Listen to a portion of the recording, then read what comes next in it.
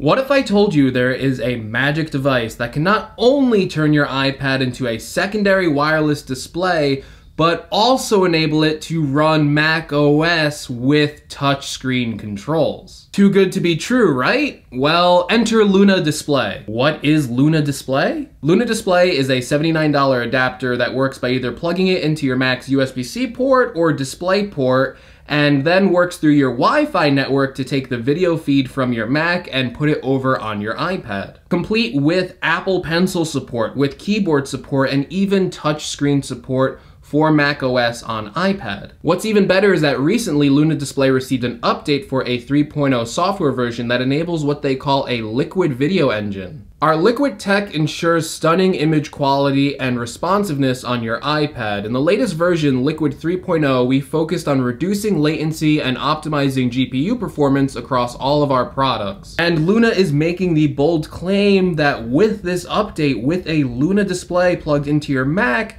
that the latency between your Mac and your iPad will only be 11.32 milliseconds. So is that claim true? Because if that's true, then this device is kind of magic. So all of this is done by this little adapter that comes in this tiny little box. Just plug it into your MacBook, Mac Mini, or iMac, you will have to download some free software on your Mac and iPad as well, but after that, Luna Display is recognized easily as a second monitor for your Mac. So just like that, you have a second monitor ready to go. What's even better is that it supports Retina resolution and is optimized for the new sizes of the 11 inch and 12.9 inch iPad Pro with the Liquid Retina display complete with rounded corners and all. You can drag windows back and forth between each display seamlessly just like you would on a regular second monitor. Now I did notice some slight artifacting. It would make some text fuzzy when dragging windows around the screen, especially when you're doing it at a fast pace, but it's not the biggest deal in the world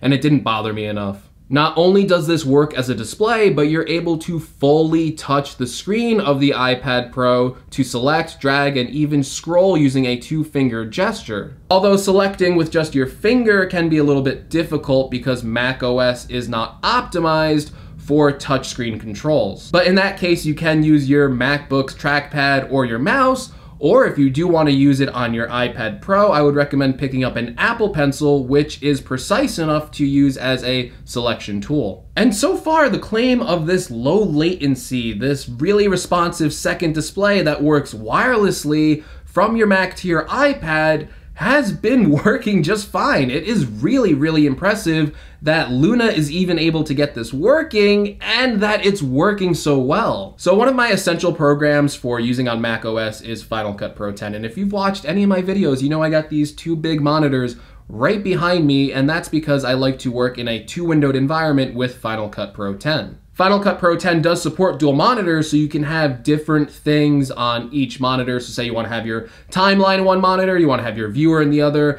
you can do that with Final Cut Pro 10. If you want to expand your color correcting tools or anything else that you might want to customize and just have two different workspaces, that is achievable. And with the Luna display, I can now take my MacBook Pro with me and my iPad Pro, and when I'm out and about, I can set up a mobile workstation that has two monitors. And it just works somehow, wirelessly to boot. If you're on a Wi-Fi network and you're just using your iPad Pro with your MacBook Pro, you can just enable a dual screen experience. You can drag things along from the timeline, you can edit, it works and I am so impressed with it. And it takes full advantage of that stunning iPad display. The colors look really good on it, it's really bright, it has a retina screen so the text is really easy to read, it just works as a really great second monitor. Now the real magic with Luna Display comes in when you remove the Mac, turning your iPad Pro into a fully enabled Mac OS with touchscreen controls. And by doing this, Luna Display enables something that I've always wanted to try out, something that I always wanted on my iPad Pro,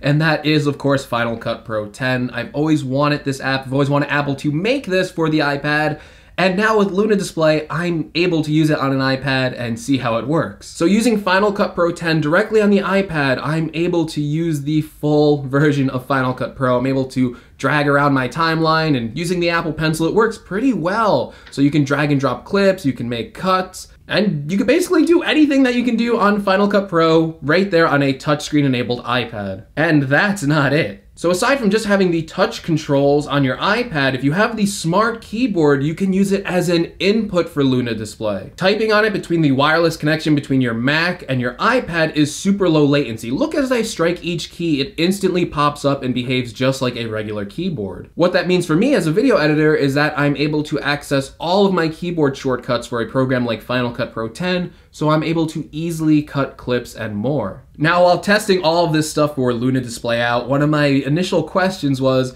can I take a game from macOS and play it on my iPad? To answer this question, I loaded up one of the most demanding games in the world, the latest, the greatest, the StarCraft Remastered. Just look at those graphics. I mean, this thing runs in 5K, you know.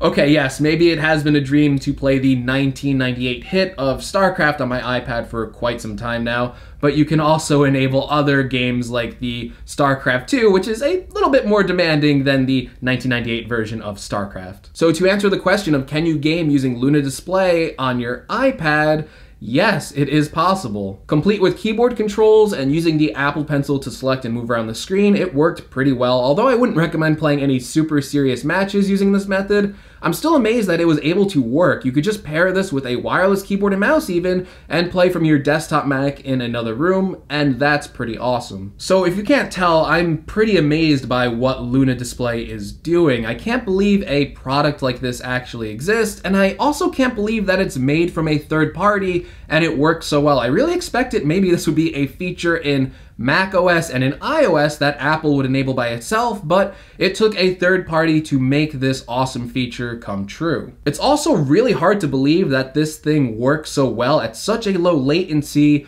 from a wireless connection. There isn't even a physical cable to cable connection going from your Mac to your iPad. And I've used solutions like that before, and they've had more latency than this does on a wireless connection. Not only that, it supports the full display of the iPad with Retina resolution, no less. So if you want to use your iPad not only as a secondary monitor for your Mac, but also use your iPad as a Mac OS client with full touchscreen controls, with full keyboard access. I really can't recommend Luna Display enough. I think almost everyone who owns an iPad and a Mac needs to have this in their accessory arsenal. And I highly recommend it to anyone who has an iPad and a Mac. It is a must buy. All right, everyone, let me know what you think of this magic little device called the Luna Display. Do you plan on picking one up? If you do, I have a link right in the description for you. If you like the video, make sure you give me a like. If you want to see more from my channel, make sure you're subscribed. If you want to support the channel in any way, make sure you check out any of the links in the description, including a link to the merch store or even my Amazon affiliate where you will help out the channel a little bit. And as always, I will see you all in the next video. Take care, everyone.